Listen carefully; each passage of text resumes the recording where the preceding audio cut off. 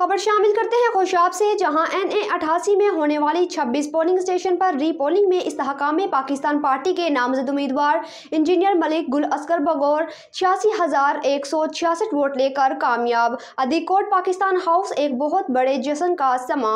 मजीद तफसीत bureau chief Khushab Mohammad Abdullah की इस रिपोर्ट में।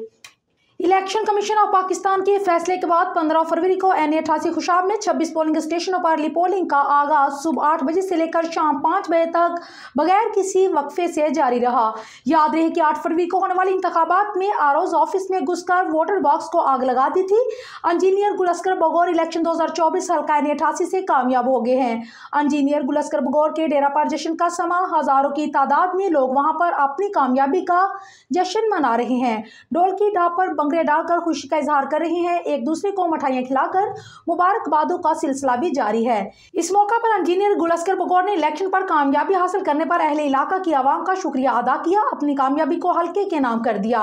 उनका कहना था कि ये आपकी जदोजहद ही आज का दिन देखने को नसीब हुआ। मैं आप सबको मुबारकबाद पेश करता हूँ। हमेशा की तरह आप हमारे दिल में रहेंगे। आप मेरे कंधों पर एक बहुत बड़ी ज़िम्मेदारी है। मेरे हल्के की आवाम ने डाल दी है। मैं आपको कभी मायूस नहीं करूँगा। इलेक्शन जीतने पर अपने अपने हल्का की आवाम का शुक्रिया अदा किया और आज एक आम इंसान का बेटा अल्लाह के फजल करम से कामयाब हुआ।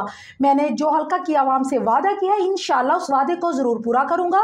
ये मेरा ख्वाब है, ज़िला खुशाब में तब्दीली लाऊँगा और आवाम से कहा कि आपने अपना काम पूरा किया। अब इंजीनियर गुल असगर बोर का काम शुरू हो गया।